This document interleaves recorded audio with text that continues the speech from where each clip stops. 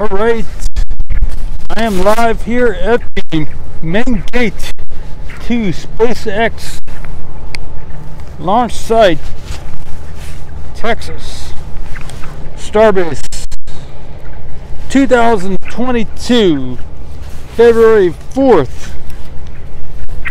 Paul S. Mamakos Ocean Camera Space Corp. I can tell you, it is night time. It is uh what time is it? 6:41 in the evening. 6:41 in the evening. 6:41 in the evening. And man, it's uh, it's cold out here, everybody. Um, what I can tell you also is not sure what they did today.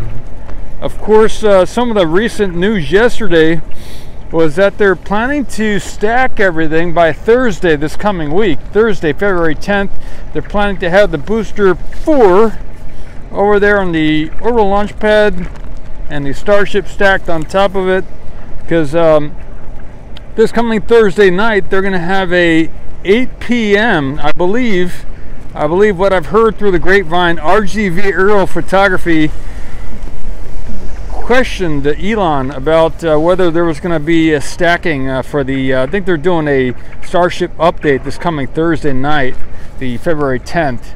So, and Elon did reply that yes, yes, the Starship would be stacked this coming Thursday. So, in about uh, six days, they're looking to have a lot of work uh, completed here. And uh, earlier tonight, this evening, I just uh, reset up the remote camera over there at the Ocean Cam uh, remote camera location. It is a very secret location, uh, known only to myself and a few other individuals. But it's a, it's a very special spot because that will allow us to see the launches here at the SpaceX launch site from close up. So the, the idea is to develop that technology to be able to do that remote video photography, work out all the kinks so that when the launches and the static fires come up, we can uh, be live for that. But uh, so uh, Maria Pointer was down here earlier taking video photography, and she had mentioned to me that she, um, not sure what was going on here during the test. They started the road closure this morning at six in the morning, and it it just ended a, a, about three four hours ago. It was a um, 6 a.m. to 4 p.m. road closure. I don't know if it ended early or not, but I'm not sure what the uh, big big thing happening today was. I know uh, Maria got a shot of a nitrogen tanker over there at the roadblock, um, but not sure. I haven't done any research into what other people saw. I know the Lab Padre camera was here, and uh, not sure what else was going on, but um, yeah. So this is a shot what I can tell you also, it's supposed to get uh, around 31 degrees Fahrenheit here tonight. Last night was kind of the first night, the first evening, morning, this and this morning was the first uh, time it really got to freezing temperatures here in the last uh, maybe a year, about a year since uh, last February when it froze out here. Um, remember last year is when they, I believe, they had to get the oil um, uh, use the oil to unfreeze the uh, the windmills. So yeah, if it uh, if we get snow or something like that, we might have another situation like that here in uh, Texas. But um, yeah, my fingers were getting so cold I could hardly uh, uh, turn start the truck here.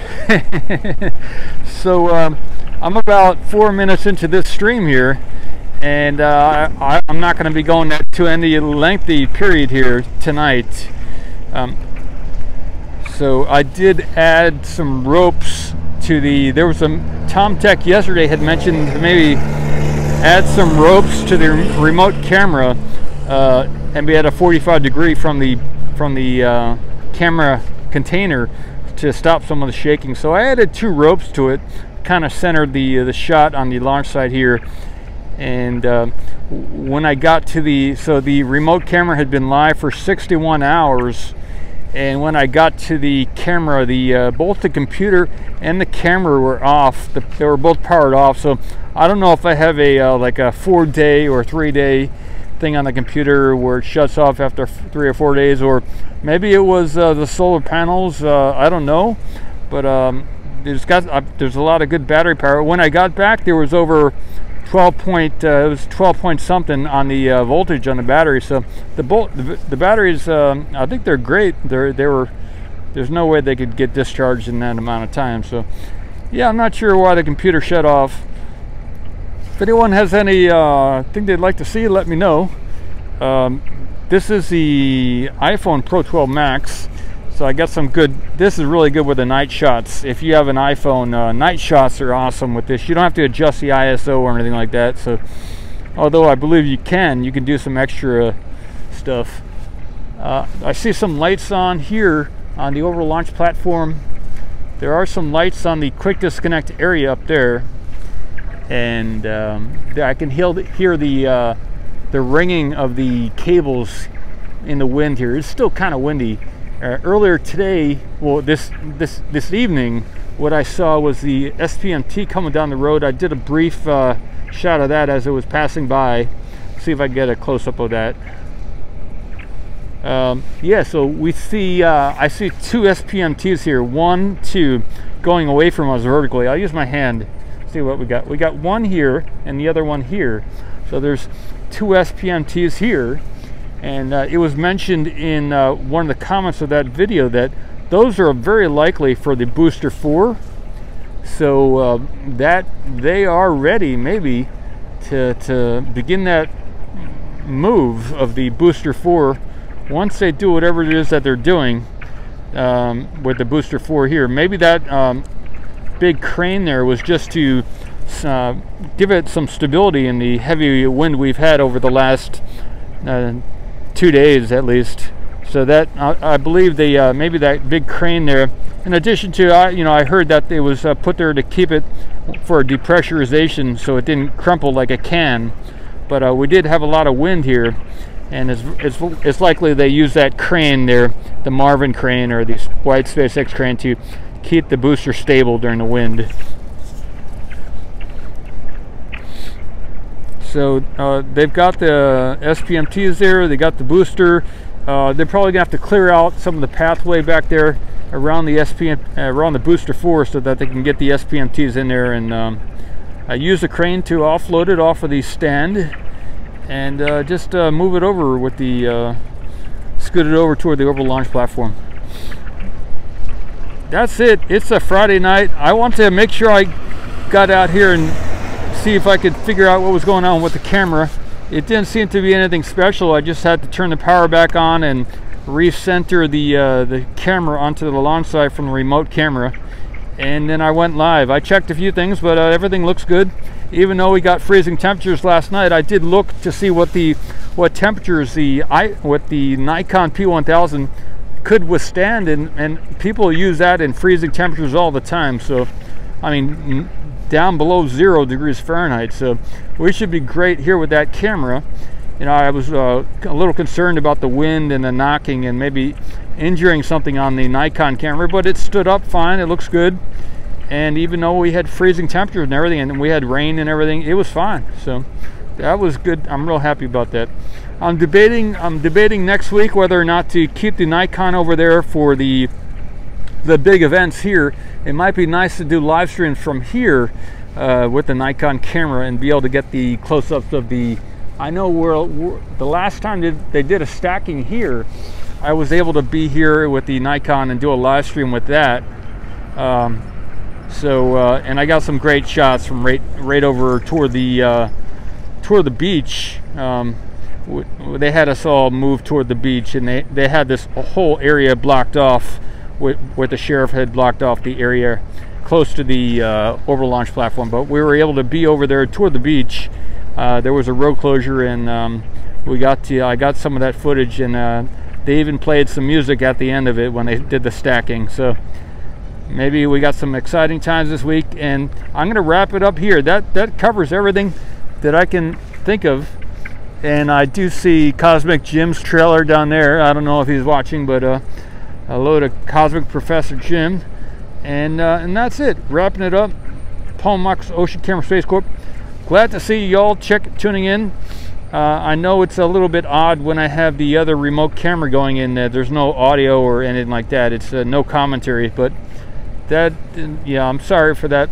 But um, I'm doing my best here to keep moving it forward, and uh, and I do appreciate the support from um, Drones Toronto and um, and thanks, Michael, and and Michael also, Michael P, and several of you uh, Etienne recently, and many many of y'all over the last uh, 11 months to keep this thing going and support it. Yeah, thanks. So this is going to be a great week, I believe, and uh, wish you guys the best of weekends.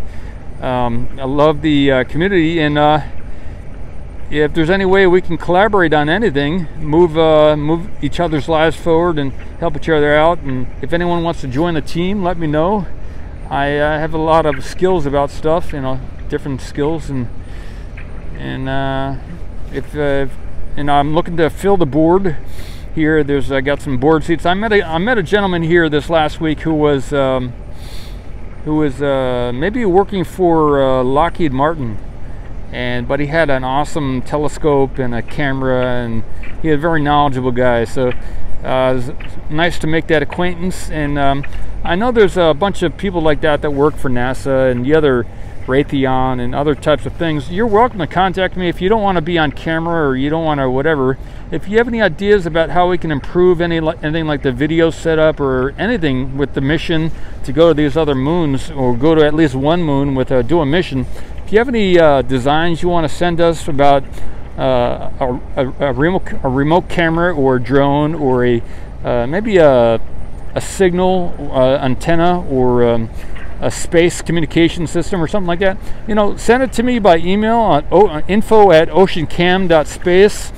If you're just really knowledgeable about, whatever it is, uh, send us a message and uh, move us forward. You know, it's not all about money, but um, if you have any ideas that can help us out, send me a message, or if you want to share uh, something you've been thinking about, or whatever. You know, I'm here helping you out. You guys, guys are hearing me, helping me out. We're helping each other out, and it's an exciting time in human history. Uh, all right, I'm wrapping it up. I'll get in front of the camera briefly. I'm holding an umbrella for the microphone. Paul S. Mamakos wearing a hat as well. It is cold out here. Thanks for everything. And uh, see you soon. See you soon, everybody. Signing out. Signing out. Not sure what's going on with Booster 4, but it looks like they're going to do the stacking soon. Stacking this Thursday. So be sure to watch uh, everybody's channels. Uh, uh, Ocean Camera Space Corp, Lab Padre, NSF, um, Jessica Kirsch, uh, e, uh, there's a bunch of them.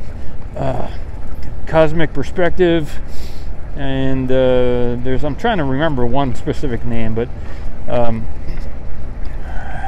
Mars Embassy. Yeah, there's one other guy, uh, Maria Pointer. Um, yeah, there's one man. One man I'm missing. But thank you, everybody. Good night. Have a good weekend. Uh, awesome. Be well. Be well. Awesome.